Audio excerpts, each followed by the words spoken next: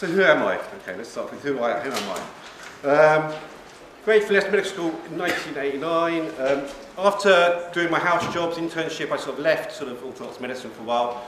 Uh, so lived in a truck in sort of this country in Ireland for a while.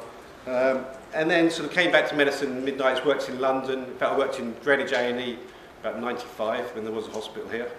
Um, and then went, moved to Somerset where I trained, worked as GP and I've been working in, in psychiatry for the last 15 years. So my talk's really sort of based around my sort of clinical experience, personal experiences, rather than any clear sort of research. Um, yes, that's my, my current job. I work as a community adult psychiatrist in West Somerset. Um, I also have some input to what's called a psychiatric intensive care unit in Taunton. I used to I work, I worked full time for several years, um, and I also work as uh, one session a week as a visiting psychiatrist in uh, a drug and alcohol rehab unit in Western Supermed. Um, so, what am I going to talk about today? I, I want to um, first half of the talk really is trying to is talking a bit. We often refer to sort of the potential for um, psychedelics or, or drugs inducing psychosis. So I really want to focus a bit more about talking about what we mean by psychosis, uh, ideas, some more modern ideas about what may cause psychosis and, and treatments. Um, and in particular talk about an approach called open dialogue. Um, then I will talk about a bit about the risks of psychosis with psychedelics, um, uh, management of if there is a, a psychedelic-induced psychosis, how that be best managed. And I did actually mention the body of my abstract, something called Psychonauts Go Psychonuts, but I didn't mean it as my, my title. Okay. So, psychotic disorders, uh, this is, a, this is a, roughly can be, this isn't totally exhaustive this, but think about it as a sort of transient psychotic disorders, um, acute transient psychotic disorders, which generally thinking that it's, it's psychedelic induced psychosis, it's more that sort of thing. Um, schizophrenia, and then the affective psychosis. Affective psychosis is sort of depressive and manic psychosis. I'm not really going to talk much about that.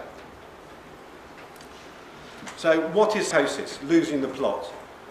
Sort of losing touch, we use that term, losing touch with reality, losing the sense of self.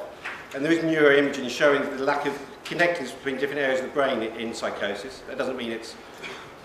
I think of psychosis more as a, a symptom rather than the cause. So that's what's the underlying cause for this to be happening. Um, so, so these are character, so, so psychosis is characterized by these sort of these different things. So everyone thinks about voice hearing, hallucinations, which predominantly auditory hallucinations, uh, they can be broken down into different types of auditory hallucinations. Generally, psychosis, you talk about third-person auditory hallucinations, where there's two people talking about you in the third person. Running commentary hallucinations, where you're being the voice is describing what you're doing as you're doing it. And something called thought echo, where the voices are describing what you've been thinking. Um, then there's paranoid delusions. I mean, paranoid we think of always as persecutory, but actually in the original Greek, paranoid doesn't mean that. Paranoid means grandiose or persecutory. In both states, if you're grandiose or persecuted, you're the centre of the universe. And I think there's, there's ideas around this is a sort of ego defence. There's an ego dissolution going on and a sort of a defence against this, causing paranoia. And then there's delusions around the possessions of thoughts. So that's where you get what's called thought broadcasting, where you feel that your thoughts are being transmitted, other people know what you're thinking, understand your, what you're thinking, other people may be putting thoughts inside your head, or thoughts being withdrawn.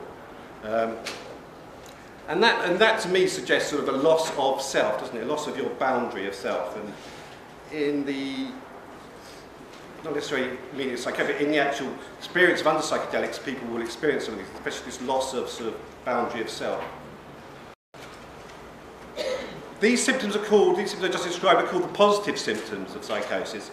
I remember a patient of mine saying, well, they're the positive symptoms of psychosis, what are the negative ones? because it's a bit of an odd term, but the negative symptoms of psychosis are sort of uh, social withdrawal, lack of motivation, withdrawal, withdrawal from sort of from, from other people, and that's generally described in, as a, part of schizophrenia. There's, um, if you go back to that sort of what I was talking about, that sort of dissolution of self, uh, and uh, there's lots of talk around psychosis being possible sort of spiritual emergence, spiritual emergence, Stanislav Grof used that term, spiritual emergence, spiritual emergency. Um, and that's quite a big topic, but I was just going to use a, uh, a quote from Joseph Campbell that I think describes things quite nicely. The mystic endowed with the native talents and following the instructions of a master enters the waters and finds he can swim, whereas the schizophrenic, unprepared, unguided and ungifted has fallen or is intentionally plunged and is drowning. We come back to this, what's the term acute transient psychosis. Uh, so there's an acute onset within, within a couple of weeks. Um, usually there's some big acute stressful event that's happened, a big st stressful life event happening, or that could be uh, a, a, st a, stressful event, a stressful uh, thing happening under, after you've taken psychedelic drugs or taking drugs that could induce a, uh, an acute transient psychosis. That, that picture is often a very, what's called a very florid psychotic picture, frequently changing, polymorphic. Someone with a, then makes generally speaking, people with that sort of picture, the acute transient psychosis, is that good, good pre-morbid functioning, and they make a good, a good sort of recovery. Um, whereas schizophrenia, they talk about a sort of more slow, insidious onset with something called a prodrome, which is those negative symptoms, sort of reduced functioning, withdrawal from, from life, um, poor pre-morbid functioning. And often talk about this family history of schizophrenia, you know, and often talk about the importance of the genetic risk. to someone with a family history of schizophrenia and bipolar disorder. It's I think this is perhaps overstated. Um, there's, there's some recent work re-looking at some of the twin adoption studies that suggested the, sort of, the importance of the, the importance of this, and perhaps they've, uh, yeah, they've been reinterpreted and, and being sort of, perhaps it's overstated. And I must think, imagine, I must admit, in my own practice, I've sort of moved away from this, but I, I see it with my colleagues, is that you see someone presenting with psychotic symptoms and, it, well, yeah, their uncle's got schizophrenia and their we got a cousin who's got bipolar, and it's sort of, you're damning them before they've got a chance, really. You're sort of saying, well, it's likely they've got an underlying, underlying vulnerability. Um, and as I said before, schizophrenia talk about these positive and negative, negative symptoms. The World Health Organization did a, a big cohort study, so they we went about 10, 15 years, I think it was, through the 1970s with eight different centres around the world. The idea was to sort of, uh, and using the same diagnostic techniques for diagnosing schizophrenia across these different, eight different centres. And they found this sort of, uh, sort of prevalence 1% worldwide, which was quite massive, one in a hundred people, it's pretty massive. What's interesting is a better prognosis was found in developing countries than the first world, the developed world. So all this money, all this antipsychotics thrown, thrown at people when you're actually getting the worst prognosis in, in this country. The, um, so there'll be discussion about why that may be, might be the case. In developing countries and other cultures, you've got a, a better family support structure. Um, there's less stigma, so that if someone's voice hearing or having a different experience, they're not just, you know, in this country, you start talking about that, people shun away from you, think you're mad, whereas in, in other cultures, you may be seen as uh, sort of quite gifted or in contact with the spirit world. Also interesting ideas, perhaps the, the, the actual prognosis is worse in this country because of the use of neuroleptic antipsychotic drugs. Ideas that this creates a sort of a chronic illness. Other ideas have been around diet, uh, sort of the refined modern Western diet, lack of essential fatty acids, a lot of interest now in essential fatty acids, fish oils, seems to be good for the brain in lots of ways, helpful in uh, mental illness, not just psychosis and depression as well. The, um, just trying to illustrate some of it. I mean, I don't know if this gentleman has schizophrenia, but he's, he's certainly sort of not fitting in with society, sort of a bit shunned, a bit, a bit separate from the, from the rest of the world. Whereas this person who perhaps smokes, you know, a sadhu, smoke cannabis, hear voices, can contact the spirit world is, is revered and respected just, just illustrating that idea about sort of different, different stigma in different cultures. So, what causes schizophrenia? The conventional view is it's a, a neurodevelopmental disorder. So it's the interplay of genes and environment. So very, the other term is a vulnerability stress model. So that if you've got the, the, the genetic vulnerability, and then you have different environmental stresses, you have abuse in your childhood, um, brain insults, whether that's an infection or something, and they talk about drug use, different, you know, different environmental factors, then develop schizophrenia, um, seen very much as a biological disorder. I think uh, we get it wrong in mental health. In mental health, we, they talk about trying to get parity with physical health, you know, the same respect for mental health services as physical health services. That doesn't mean that actually we have to break it all down and say it's be so biological about the, cause, the causes and, and treatments of mental health problems. So yeah, so I mean, the idea, yeah, the orthodox idea uh, is very much that it's a sort of biological disorder and requires drug treatment to correct this neurotransmitter imbalance. Thinking about psychosis from a different view, there's this thing called open dialogue. Um, so that's looking very differently at it really. Psychotic behaviour is a form of communication for experiences that do not yet have words. Hallucinations, unusual ideas, confused states of mind are understood as metaphors for the real events. And long-standing chronic psychotic behaviour occurs due to poor initial treatment um, and part, medication possibly. So medicalisation of that behaviour takes responsibility away from everyone else involved. So in a family or social setting, that person has the illness and it's, it's their responsibility. They're nothing to do with the, the way we're interacting with them. This has been going for 30 years in West Lapland. Um, Jaakko Seikkula um, developed this open dialogue approach. Um, been going for over 30 years now. Uh, being developed in Norway, Denmark, Germany, USA. There's currently a, a trial going on with four NHS trusts in the country. There's North East, North East London Foundation Trust, North Essex, Nottinghamshire and Kent Medway Trusts. What is open dialogue? Um, they're the seven core principles of open dialogue. If I, if I talk about, uh, I'll come back to that bit, maybe if I talk about what happens in our conventional sort of mental health system at the moment, say someone has a problem, sees their doctor, gets referred to community mental health services, uh, look at the letter, are they for us? Do they meet our threshold? So, okay, yeah, maybe we'll see them. Well, we can see them in three weeks' time. See them in three weeks' time. They've got a bit of voice here, a bit of paranoia. Well, we'll get early intervention team to see them, Neil's off till next week. We, I'll maybe get a bit of olanzapine from Dr. Chris in the meantime. That's the sort of more conventional approach, whereas open dialogue would be you phone up, you make, you know, want to mental health services referred.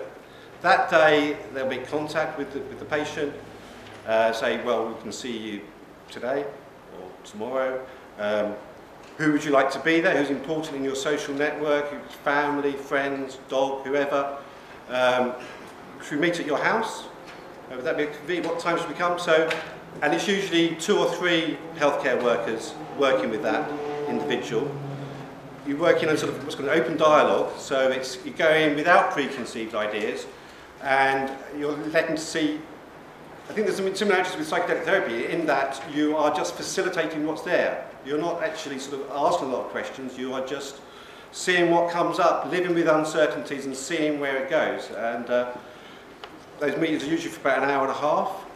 Um, you would then say, when should we meet again?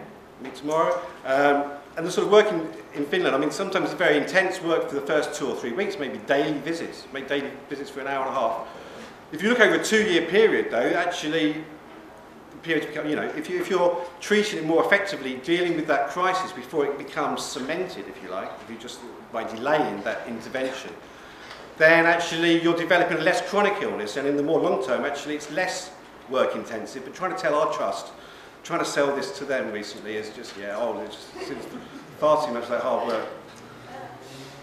So yeah, these are the seven principles, core principles of open dialogue. So it's that immediate help, looking at social network perspective, Flexibility, flexibility in the way you're working, mobility, responsibility, uh, that's with the network and with the people working. Psychologically and continuity, that's very important. So it's the same people, those people at that first meeting, it might change a bit, there'll always be at least a core member working with that person all the way through. And that's what people want all the time, isn't it? You hear from users with their health care experience, it's lack of that continuity of care. Psychological continuity, tolerance, that tolerance of uncertainty, living with those uncertainties, because you know, I think that's a sort of defence of professions. It's like sort of you try and sort of, you know, go in there being very certain, diagnosis this, this, this, uh, but actually being more uncertain and just going where what, what comes up. And dialogue, just talking.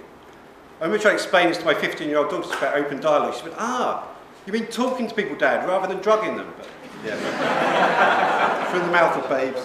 Yeah. So the outcomes in, in West Lapland are very good.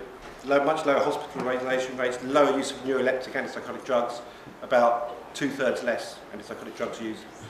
And less long-term, or short-term, seen as to use short-term. Two-year, 84%, two-year follow, 84% of people are uh, in employment education is actually better than their background population in that study. This is very much a sort of, um, there's no control, this isn't a controlled studies, this is very sort of pragmatic sort of studies they've done.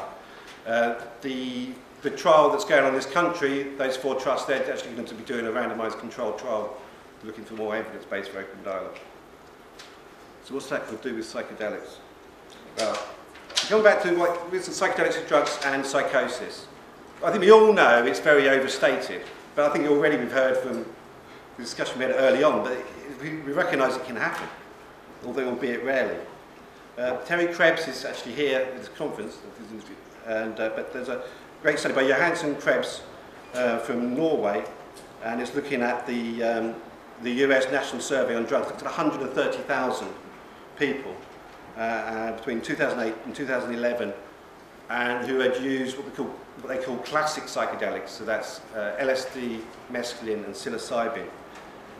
And in, in that group, well, it's a huge study, 130,000, 15%, I think it's 15 or 14 point something percent, have used those classic psychedelics, and in those people who've used classic psychedelics, they actually had better mental health than, than other people.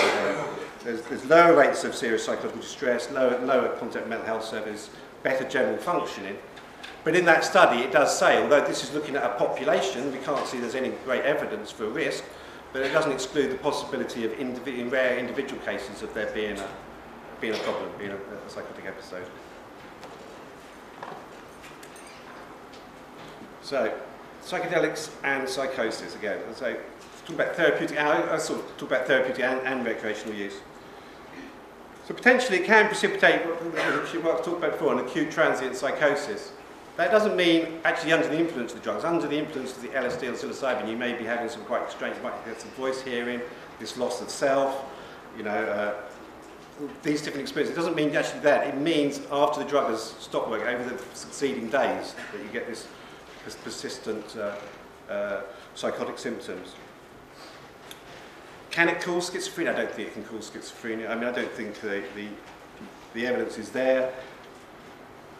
People uh, who normally develop psychosis or schizophrenia happens in their late teens, early 20s, which really coincides when most people are experimenting with recreational drugs. And people, mental health services and family often trying to look for a causative agent, aren't they? So John went to university, he was fine, he took some LSD, and he's now got schizophrenia, and it's all the fault of the LSD. But that's a sort of, uh, there's, a, there's, a, there's an association there, but not a causal, causal relationship. Um, in someone who does have a psychotic illness, or does have a psychotic illness, or perhaps a, a will later develop psychotic illness in their life, maybe it can precipitate uh, psychosis. That's that idea. So, how would you reduce these risks? You'd say, say they're very small, and they don't overstate the fact, I think they're very small. I think we have to, some people can be very evangelical about psychedelic drugs, some people think, you know, think it's, it's a panacea for all, everyone's ills and everyone should be doing this. And it's certainly not the case. I think it's certainly it's like mindfulness approaches, different approaches for different people work, okay? And if, uh, if someone feels comfortable with taking psychedelic, then, then that's good in a therapeutic way. But some people may feel very uncomfortable with that, and it may just be because of, you know, because of these perceived risks, or they might just have an innate fear of it, and they have to perhaps listen to that, listen to that gut feeling they have, or the therapist has. Some people shouldn't take acid, as I said before. You can think of, you know, I can think of a friend of mine who, who uh, became, um, he took some LSD at a festival and went really quite mad, and, and you think, God, Jenny taking LSD, it's just the last, just the last person you thought should ever do it, really. But set, setting and dosage. I mean, setting, setting is, is talked a lot about. Dosage, that's the problem with dosage, is the, uh, with, with illicit drugs, the dosage can be really unpredictable. You're not knowing the dosage you're taking, or even knowing what substance you're taking. And I refer to the Glastonbury, look, this wasn't the Glastonbury Festival, this was in Glastonbury Town a few years ago. Um, they, there was this mislabeled batch of 2CB, I think, and it was in fact Bromo Dragonfly, which is a very potent psychedelic, only about half, one milligram, and they sort of shared a gram amongst them. And yeah, it, was, it was horrendous, hospitalisation, uh, uh, seizures. I've read about the similar thing happening in America with a mist-based, a, a, a batch of, of Bromo Dragonfly, and there was deaths associated with that. So clearly uh, there's, there are risks, uh, much more with the fact that it's illicit, but I think it's something in the psychedelic community and as psychedelic therapists, it's something that, that, you know, mental health professionals with an interest in psychedelics, actually they'll be well placed to try and help people who do end up falling into, into a problem like this. So, how do you manage an acute transient psychosis precipitated by psychedelic therapy? I say it's not necessarily a bad thing. It's a healing crisis, a spiritual emergence. I, I know people, one, one lady in particular who had a nothing to do with psychedelics, had a, an acute transient psychosis, and she thinks it's the most wonderful thing that ever happened to, to her life. It just sort of, it was painful and difficult at the time, but it was very transformative. Uh, and, uh, you know, so, so it's not necessarily a negative thing. It, it may, you know, it, it's a potential risk, but it's not necessarily a you know, negative thing if it can be managed correctly. So it's a healing crisis. And as before, it's trying to help that person work through that, that acute transient psychosis. Um, there may be a role for medication in that acute transient psychosis. In the, open, in the open dialogue, they normally have a conversation about medication by the third, third meeting about whether there's any role for medication. And not necessarily antipsychotic medication, just some benzodiazepines, some Valium or some Z drugs just to help promote some, promote some sleep if someone has been not slept for three days or something. I don't think that the, uh, the people doing the psychedelic therapy should say, well, you know, um, well, this person's ended up a bit mad after this. Uh, they probably had latent psychosis. It wasn't really our fault, and pass it to local mental health services and wash their hands. I think it's quite a big ask, really. But maybe if you're going to do psychedelic therapy, you're going to be in the position to manage and deal with something that you throw up. I think you should be really. But, so, how that's going to organise that, I, I can imagine if you're working in close cooperation with your local mental health services, or if you, you know, that would be an option. Because if managed incorrectly, I think the, the, if acute transient psychosis is managed incorrectly, suppressed, say, early on with antipsychotic medication, um, then actually, if it doesn't get resolved, it can lead to chronic problems. Chronic problems. So, nearly there. So that, as I say, that was what I was titled was Psychonauts Going Psychonuts. Psychedelics can, I mean, psychedelics have a low abuse potential, don't get me wrong, but they can be abused. I mean, working with people, especially working uh, at rehab, some people will just take anything they can with. They want to get, you know, often because of different trauma, different things in their life, they use alcohol, different things, and include other people take acid, mushrooms, whatever is, whatever is going, if you like. Uh, and it's heavy use of psychedelics and then not being clearly talking earlier on about sort of assimilation, integration or assimilation. If you're, taking, if you're not assimilating, integrating properly in between usage, whether that can lead to problems. People, I mean, Frederica said it well really, that actually it's only facilitating stuff from ourselves, isn't it really? But people can believe that the psychedelics are giving them some, some answer. Provide the answers rather than realise that what they're doing is, is they've got to find the answers within themselves. I had a, a, I worked with a chap who's in his 40s, who grew up in Glastonbury, happy, happy parents, lovely chap, and he sort of was using psychedelics from a young age and just, you know, take five, 15, talked about taking five microdots. Because it's that sort of, that, that wonderful experience where you think you're sort of getting this understanding of the universe. That's what he talked about. And he, so he wanted to take more and more because he wanted to understand the universe. And he realised, it took him quite a few years to realise that he couldn't. And he's perhaps developed some chronic problems now, really. He does have some chronic paranoia problems and massive conspiratorial ideas. I see him every month or two, and we're an interesting chat. but, um, and potentially, as I said, those, if you develop these sort of, you know, if these, these episodes aren't managed properly, you can develop chronic problems and maybe get diagnosed. I'm not saying it causes schizophrenia, but some people may end up with this diagnosis. So, last slide, just to throw a spanner in the works, people all say about not using psychedelics in, in sort of in schizophrenia stuff, but it has been used before. Um, I can think of people who are, if you, they'll be diagnosed as, say, paranoid schizophrenia with residual symptoms, who are chronically unwell and they're on lots of medication and nothing is working. And maybe it's a kill or cure situation, maybe, but maybe psychedelic therapy may be helpful in that situation, but that's been quite controversial and I can't see anyone want to go, go there yet. Anyway, thank you very much.